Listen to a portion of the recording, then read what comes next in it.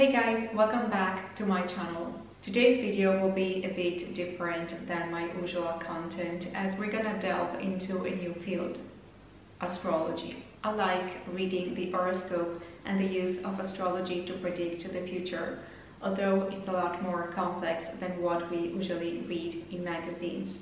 But what I find particularly interesting is the use of astrology to get to know yourself and your journey better. If you've never read your birth chart, I encourage you to do it. I'm sure you'll be surprised by the insight you gain. Anyway, today I want to focus on a particular element of karmic astrology, the lunar nodes. According to the philosophy of karma and reincarnation, we choose specific lessons for each life based on what we did and didn't learn in our past lives. The lunar nodes show us where we come from and where we're going. If you feel lost, like your life has no direction, or if you are unsure of your talents and skills, look up your lunar nodes and trust me, you will better understand your journey. It will all make more sense. So we have the North Node that represents the present, the direction you are called to explore in this life.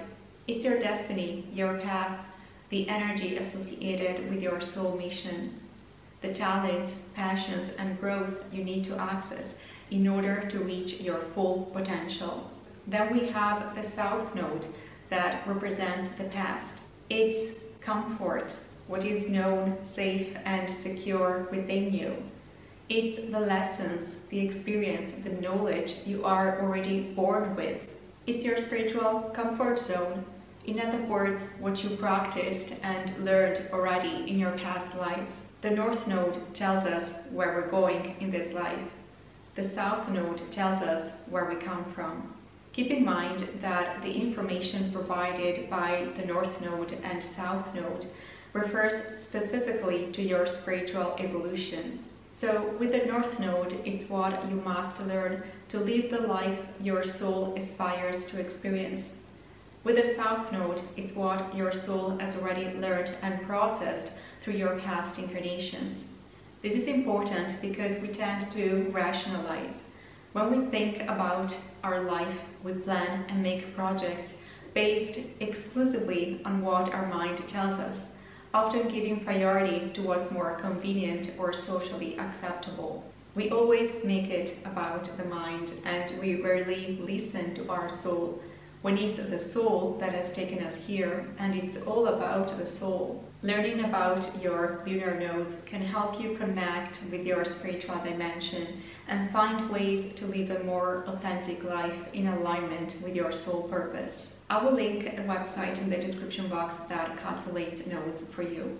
If you can, look up the sign but also the house of the nodes as that gives you even more information. Let's now talk about my placements. My North Node is in Pisces in the first house. So my theme for this life is developing my spirituality in relation to my identity, which should grow through independence and self-reliance. My South Node is in Virgo in the seventh house, so the opposite of Pisces in the first house.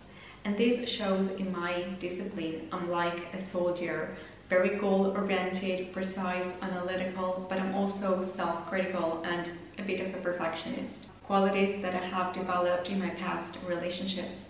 With this placement, there's a strong emphasis on my connections with people because in the past there was quite a risk for codependency. And why now I have my North Node in the first house, so I am encouraged to be more independent and self-reliant. I'm curious to know what sign your nodes are. Let me know in the comments, let me know if this topic resonates with you or not, and I'll see you next week. Holy Spirit,